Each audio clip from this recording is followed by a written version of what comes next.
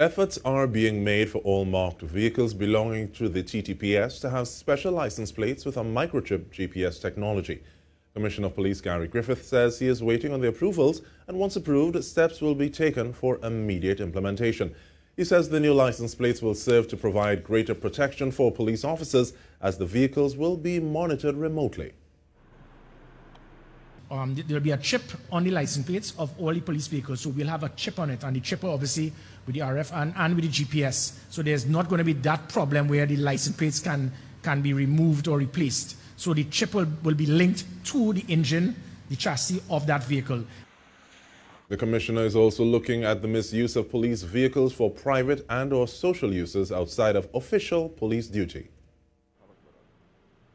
And not happening again we're going to stop you and we're going to check because you have a police vehicle flying past and then two and three vehicles behind. And then we were looking at, we're seeing persons of interest being escorted and then they're, they're slipping back in. So going back to your, to your, your point, it is quite possible because of the present system.